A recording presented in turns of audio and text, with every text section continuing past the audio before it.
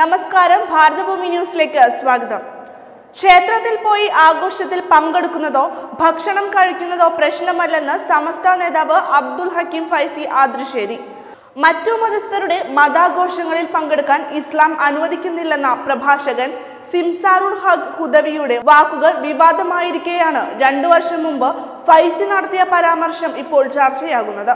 രണ്ടായിരത്തി പതിനേഴിൽ S K S S F Kerala Twalaba കോൺഫറൻസിൽ അബ്ദുൾ ഹക്കീം ഫൈസി നടത്തിയ പ്രസംഗമാണ് സോഷ്യൽ മീഡിയയിലെ പുതിയ ചർച്ച. എല്ലാ മതസ്ഥരെയും സ്വീകരിക്കുകയും ഉൾക്കൊള്ളുകയും ചെയ്ത കൂട്ടത്തിലാണ് കേരളത്തിലെ മുസ്ലിങ്ങൾ. കേരള ചരിത്രം വായിച്ചാൽ അക്കാര്യം ബോധ്യപ്പെടുമെന്നും ഫൈസി പറഞ്ഞു. എറണാകുളത്തിനടുത്ത് നിന്ന് ഒരു പള്ളി ഇമാം സംശയ നിവാരണത്തിന് വിളിച്ച കാര്യവും ഫൈസി പ്രസംഗത്തിൽ പറയുന്നു. പള്ളിക്കടുത്തുള്ള ക്ഷേത്രത്തിൽ നടക്കുന്ന ആഘോഷത്തിലേക്ക് അമ്പല കമ്മിറ്റി പള്ളി കമ്മിറ്റിയെ ക്ഷണിച്ചിട്ടുണ്ടെന്നും പങ്കെടുക്കാമോ എന്നുമായിരുന്നു സംശയം.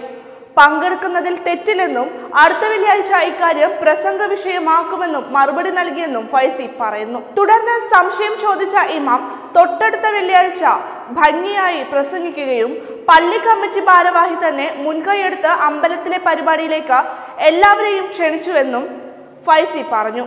എന്താണ് ക്ഷേത്രത്തിലെ ആഘോഷത്തിൽ പങ്കെടുത്താൽ? അവിടെ പോയി ഭക്ഷണം കഴിച്ചാലെന്നും ഫൈസി ചോദിച്ചു.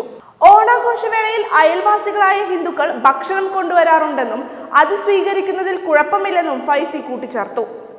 പണ്ടു മുതലേ ഇത്തരം കൊടുക്കൽ വാങ്ങലുകൾ നടക്കുന്നുണ്ടെന്നും അതിനൊന്നും തെറ്റില്ലെന്നും അദ്ദേഹം പറഞ്ഞു. ആളുകൾക്കിടയിൽ അകൽച്ച ഉണ്ടാക്കാൻ ചിലർ കുറച്ചു കാലങ്ങളായി ശ്രമിക്കുന്നുണ്ട്.